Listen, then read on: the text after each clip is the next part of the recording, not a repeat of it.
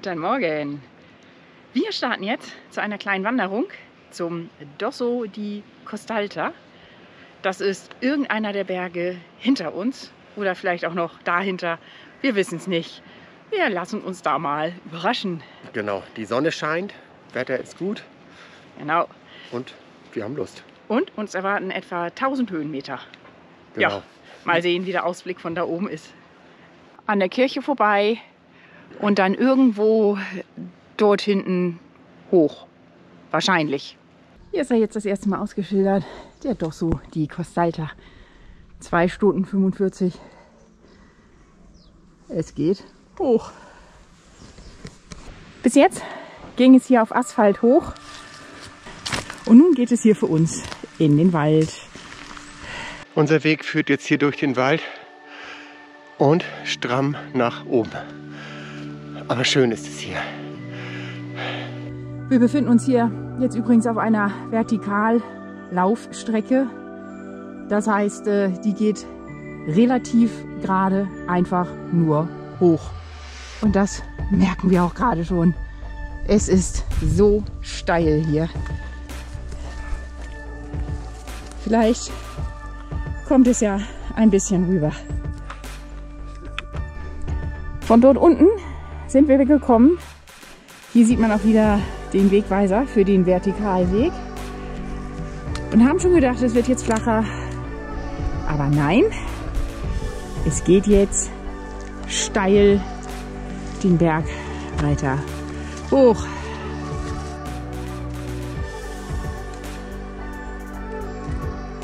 Dieser Feldweg täuscht. Den kreuzen wir nur. Geht nämlich weiter stramm bergauf.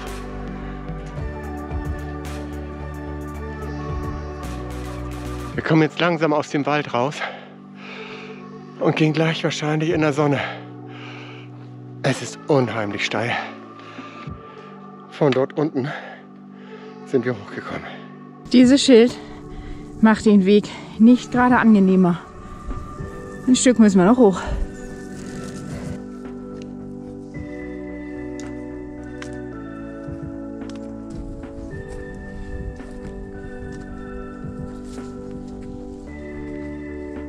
Jetzt sehen wir unten St. Ursula. Und wenn man genau hinschaut, hinter der Kirche, unten auf dem Parkplatz steht unser Alter. Auf der anderen Seite ist San Felice. Und vor uns geht es weiter bergauf. Und was für ein Ausblick. Wunderschön hier.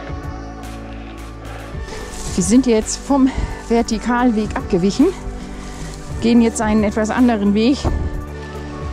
Der jetzt besser ist, wird sich noch zeigen. Wir gehen jetzt mitten durch eine Wiese und sind aber auf dem richtigen Weg. Denn hier ist die Markierung. Der Weg ist jetzt nicht weniger steil, aber immerhin, man sieht ein paar Markierungen.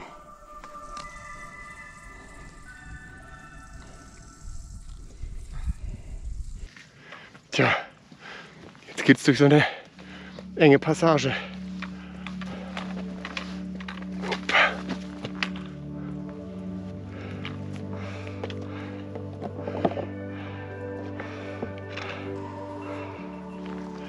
Ein unglaublicher Weg. Wahnsinn. Und diese Ausblicke. Es geht hier weiter hoch durch die Himbeeren und Brennnesseln. Aber ein schöner Ausblick. Steil. Und steil ist es, genau. Ja, da geht's weiter. Natürlich rauf. Oh, Brennnesseln. Noch und nöcher. Aua, aua, aua. Ja, aber wir sind richtig. Dort unten auf dem Sandweg haben wir uns für die längere Variante entschieden. Und hier, hier vorne sieht man jetzt, dass der Vertikalweg direkt senkrecht hoch verläuft. Und man sieht, wie die Wolken aufsteigen. Ja, ein bisschen hoch müssen wir noch. Wenn man ganz genau hinguckt, dann ist jetzt das Kreuz zu sehen, wo wir eigentlich hinwollen. Wir gehen immer noch auf der vertikalen Laufstrecke. Dieses jetzt hier, wie vorhin auch schon, mit gelben kleinen Fähnchen markiert. Und jetzt kommen wir gleich wieder aus dem kleinen Waldstück raus. Dort vorne ist ein Wegweiser. Und dort sieht es so aus, als würde dort eine Straße verlaufen. Oh. 800 Meter bis Kostalta.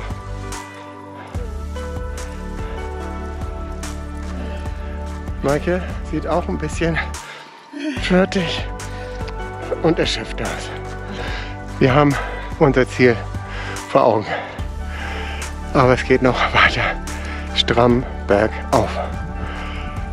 Wir sind jetzt zwar hier bei der Windfahne angekommen, aber wir sind nicht oben. Die kleinen gelben Fähnchen markieren den weiteren Weg.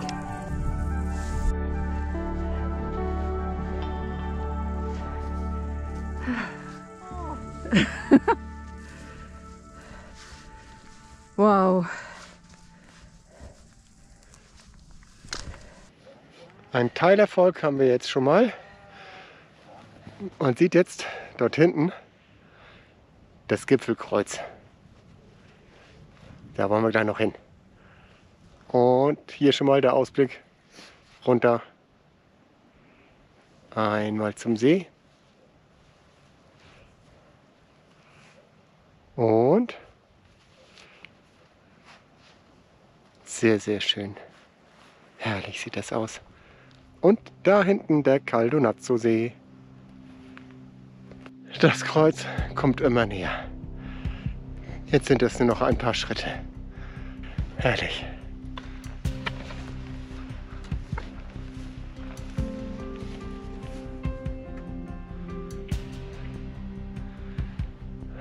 So werden die Steinmännchen langsam immer größer. Je mehr Wanderer hier oben diesen Ort erreichen.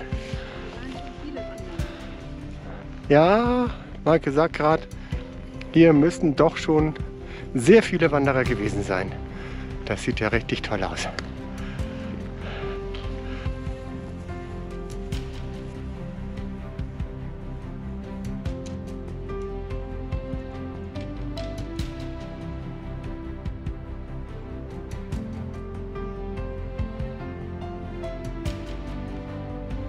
So ein Wahnsinn. Und jetzt kommt auch die Sonne wieder raus. Und wir sind auch immer noch richtig. Hier ist der Wanderweg 405.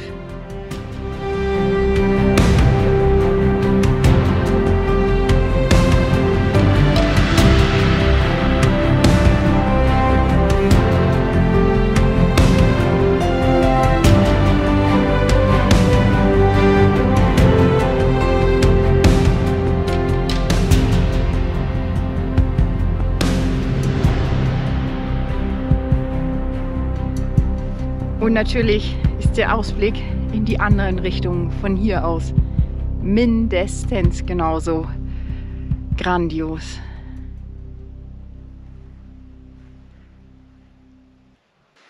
Dosso di Costalta, 1953 Meter.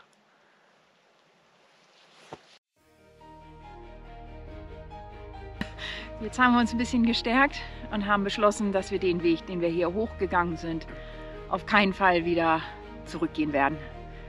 Der war einfach kein Geschenk, der hat keinen Spaß gebracht und runter wird es nicht angenehmer werden als hoch.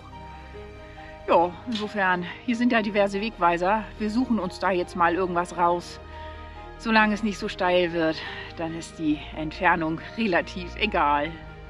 Genau, wir marschieren gleich erstmal los. Genau, mal sehen, wie oft wir uns verlaufen. Aber es ist jetzt 12 Uhr. Also wir haben tatsächlich knapp drei Stunden gebraucht für die äh, 1000 Höhenmeter und 5,7 Kilometer. Also, aber wie gesagt, der Weg, wir würden ihn nicht wieder gehen. Nein. Okay, wir werden jetzt mal hier runtergehen. Erstmal grob Richtung Passo del Redebus. Also der Weg ist bisher schon mal wesentlich besser zu gehen. Das einzige Problem führt in die falsche Richtung. Also wir suchen dann jetzt mal. Genau. Herrlich zu gehen. Immer noch die falsche Richtung, aber das macht nichts. Und? Und es ist richtig kalt geworden. Muss Ja. man dazu auch sagen. richtig kalt.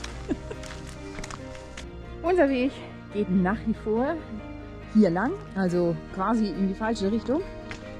Und jetzt haben wir gerade gesehen, wir müssten ja hier noch runter. Und von hier aus hat man direkt einen Blick nach San Felice, wo wir gestern waren, an der Kirche. Jo, also ein paar Straßen und Wege kann man hier erkennen. Irgendwie kommen wir da schon runter. Und es ist noch kälter geworden. Man trägt jetzt schon Mütze. Noch einmal der Blick zurück. Dort die Serpentin, die wir runtergegangen sind. Und jetzt nochmal der weitere Blick ins Tal. Wir müssen also noch ganz schön weit runter. Aber der Weg verläuft jetzt ja, auf einer Forststraße und auf jeden Fall nicht ganz so steil. Jetzt sind wir ja von dort gekommen. Und hier auf dem Weg liegt der Wegweiser. Und hier sollte der Weg eigentlich lang gehen, den wir gerne runtergehen würden. Wir werden es jetzt mal versuchen. Schemenhaft ist er zu erkennen, aber sonst müssen wir einen riesen Umweg gehen. Man erkennt dann vielleicht von hier, da hinten die Straße, da müssten wir dann eigentlich rauskommen. Es wird steil. Von dort oben sind wir gekommen. Jetzt müssen wir wieder durchs Dickicht und irgendwie zu der Straße. Jetzt geht's zurück nach Ursula.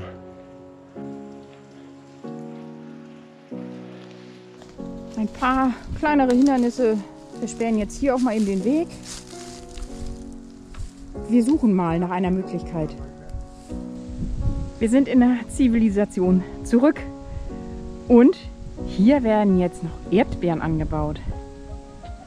Wir haben jetzt Ende August und es sind noch richtig viele Beeren dran. Und sie blühen sogar noch. Und von hier aus hat man jetzt noch einmal den Blick zur Kirche von San Felice, wo wir gestern waren. Und für uns geht es jetzt da lang. Und dort ist schon das Ortseingangsschild von Santa Ursula. Wir haben es geschafft. Wir sind zurück. Und wir sind geschafft. 15 Kilometer waren es jetzt insgesamt. Also der Rückweg war wirklich eine Ecke länger, nicht ganz so steil. Meistens besser zu gehen. Und manchmal ging es doch ganz schön wieder über irgendwelche Weiden und durch Wälder, wo umgeknickte Bäume lagen. Aber macht nichts. Wir hatten es ja eben schon gesagt. Der Hinweg, äh, den würden wir wirklich nicht wieder gehen. Der Rückweg war okay. Ja, es waren auch 1060 Höhenmeter. Ja, die mussten wir auch irgendwie wieder runter. Genau. Wir waren sechs Stunden unterwegs. Ja, Und jetzt erholen wir uns erstmal. genau, der Tag ist quasi vorbei.